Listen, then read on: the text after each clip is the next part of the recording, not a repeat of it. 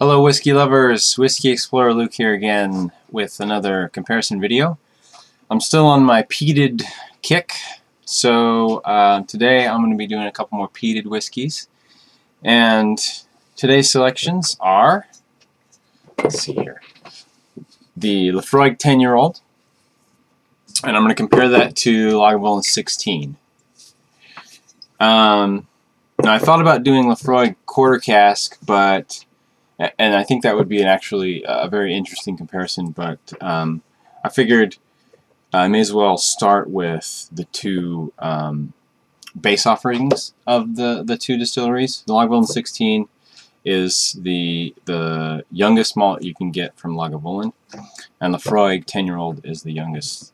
Um, that you can get from, or it's, well, I guess it's not necessarily the youngest. I believe the quarter cask actually is aged um, for a shorter amount of time, but um, it's the base offering basically. So um, I thought these might be two uh, good comparison, good whiskeys to compare. So um, right, so I'll come at this with my beginner whiskey tasting nose and mouth, and uh, we'll see where we go. So I'll start with the Laphroaig 10. Let me show you what this looks like.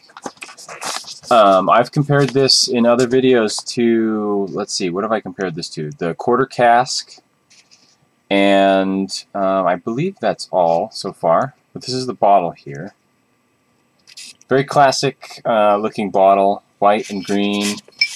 On the back they've got some information about the name and uh, recommendations on how to taste it. Best ever neat or with a cool little cool water. Okay, good. One interesting thing about these Laphroaig bottles, I've bought probably four or five Laphroaig bottles. Every time I get a bottle, this sticker up here on the the shoulders of the bottle is always uh, wrinkled. So I think they may need someone to come fix this for them because it's always a little goofed up and I always want to press it and fix it. Anyways, um, let's see what we get.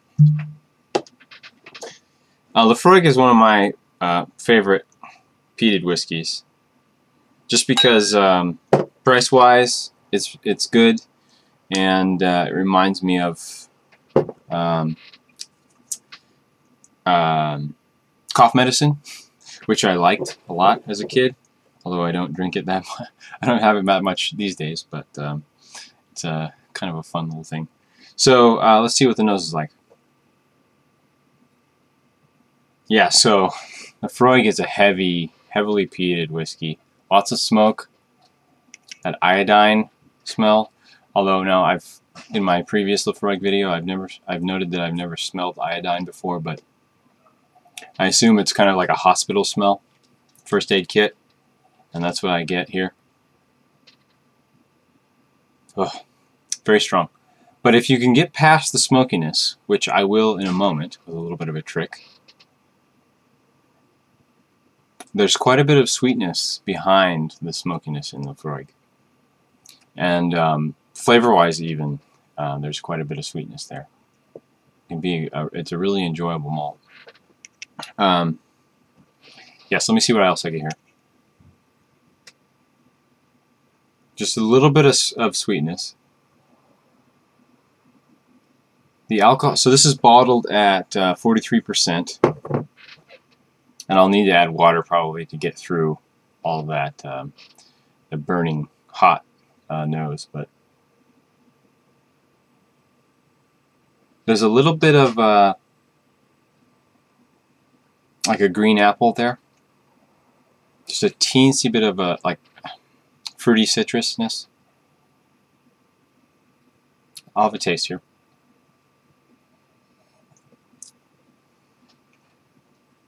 Hmm.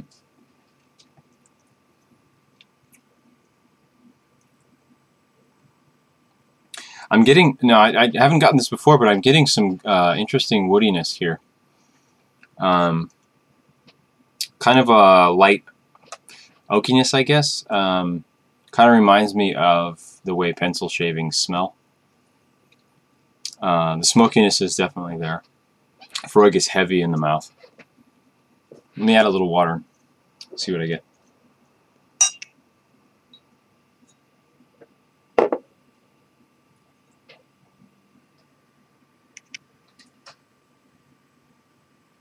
Now, so I've said this before, and I'll say it again.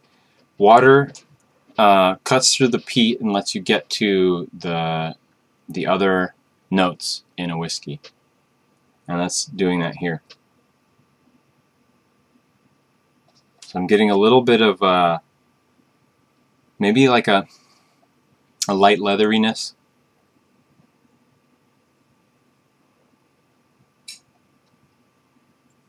Still, I'm going to add a little bit more water here. Still a little strong on the nose.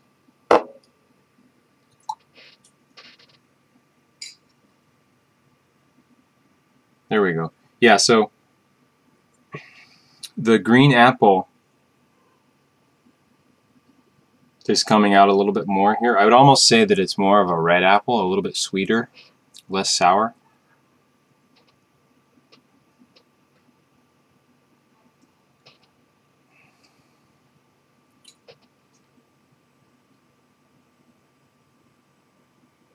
Hmm. Yeah.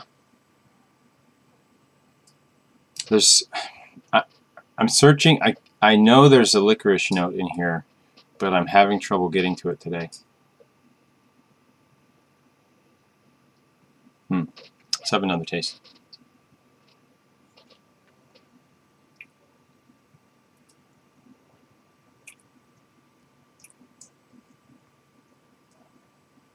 Yes, I'm getting a little bit of a,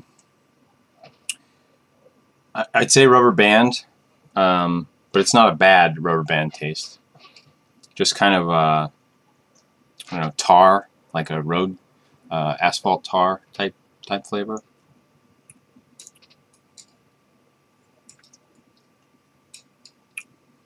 The smoke is still there. The sweetness is coming through a bit more. Very interesting. Okay, so I also, you know, I've I've been trying lately to smell and taste things that people find in whiskey, and so I've got a little glass of of sherry here. I'm just going to smell this and see if there's anything in here. And so sherry is very raisiny and sweet. I don't know what the maturation of Laphroaig is, what, what kind of cask they use, but uh, thought it would be interesting to try to compare.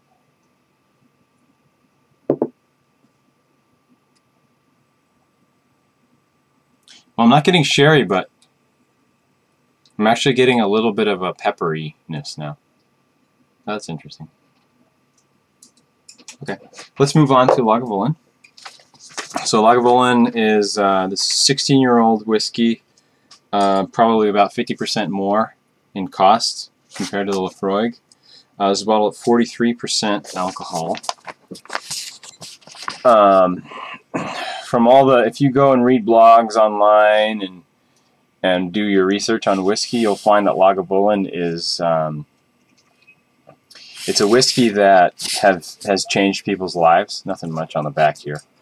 Um, a lot of people say Lagavulin is their favorite whiskey. It's just the best whiskey they've had, and it's the one they go to when they just need to relax or when they want to go back to um, their favorite, you know.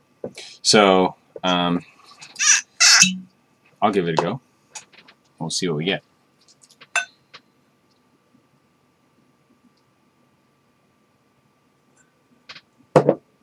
I skipped the color on Laphroaig because I've done it so many times, but um, if I remember correctly, let me get my color gauge out here. Um, Laphroaig is like an amber to amber plus one color. I've added water, so it's hard to tell now, but I can't remember what it what I what I said before. Not really that big of a deal. It's just color. Um, and Lagavulin here is um, something like amber plus two. Uh, a little bit darker than the frog, but um, if um, it's the case that they both don't use chill filter or don't use colorant, then um, the six years additional on the Freud, or on Lagavulin is is uh, expected to cause that additional deepness and color. Anyways, uh, nose.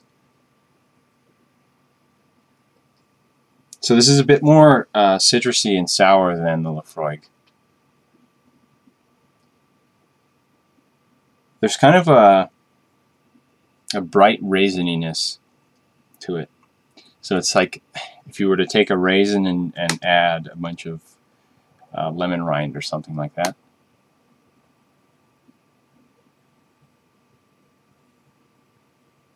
I think I'm getting a little bit of this sherry.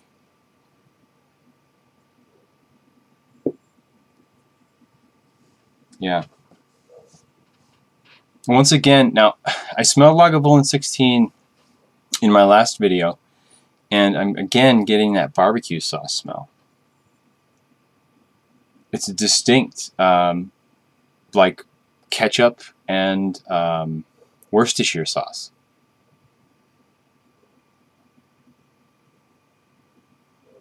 And the only time I've been able to smell that is when I'm recording a video, which is interesting. I don't know.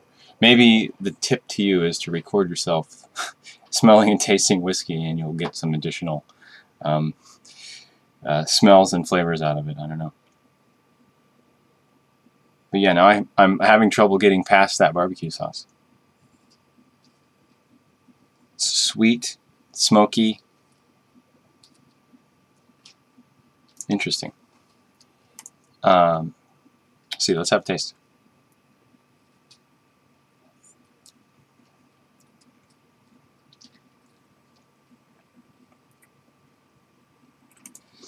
So this is, um, it comes off sweeter than Laphroaig initially, for sure. The smokiness is a little bit more balanced than Laphroaig. Laphroaig is a big hit in the mouth, a lot of smoke. Lagavulin is, is a better balance of sweetness, deep, um, raisiny sweetness, and smoke.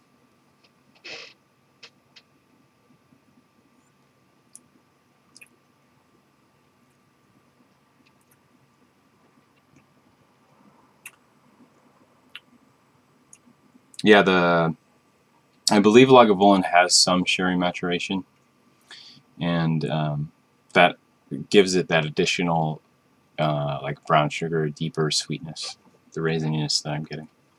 Let me add a little water and see what else I can get.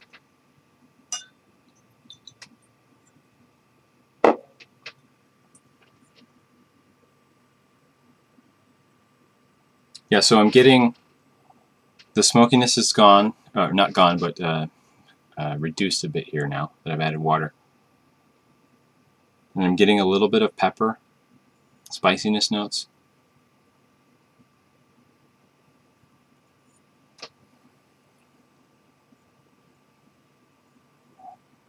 Sweetness is coming through. Actually about the same. It's nice. These are both really uh, interesting whiskeys to smell. If you like peat and smoke, highly recommend these two. Let's have a taste.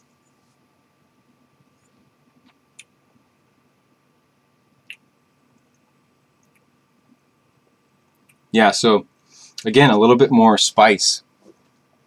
And the smokiness has, gone down a bit. The sweetness is still there, but the spice is coming through a bit more on this Lagavulin.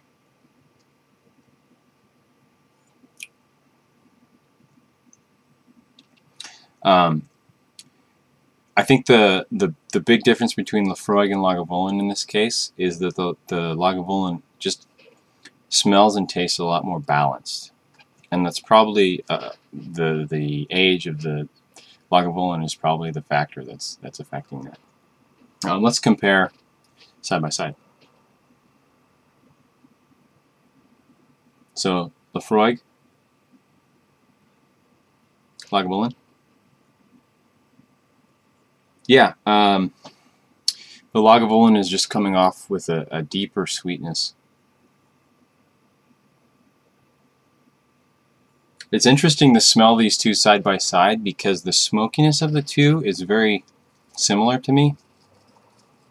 And so you can uh, pick up a, a lot easier on the underlying smells.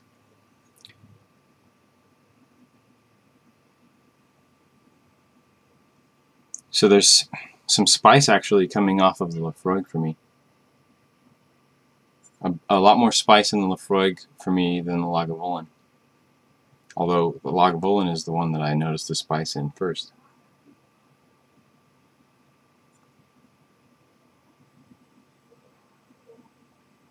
There's, I think the the Laphroaig has got. Um, I can't find the. I don't. Leather is the word I would use right now, but I don't think that's quite the right word. But I think there's there's quite a bit. I'm going to use it for now. There's quite a bit more leather in this Laphroaig than the Lagavulin. We'll have a taste and we'll finish off.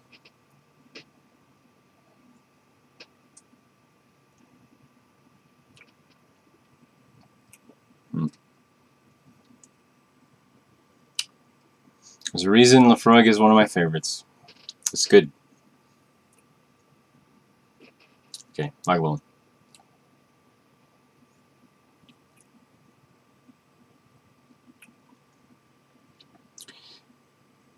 Yeah, so Lagavulin, um, like I said, it's coming off a bit more balanced. Laphroaig is is a bit more heavy-handed. Um, Finish-wise, I'd say Laphroaig has a little bit more bitterness. That's something I've noticed in Laphroaig. It, it, the finish is not as as nice as I would like it to be. But if you notice that about Laphroaig and you want something different, try Laphroaig quarter, uh, quarter cask. Um, that has a, a, much nicer finish, in my opinion. But yeah, um, both really good.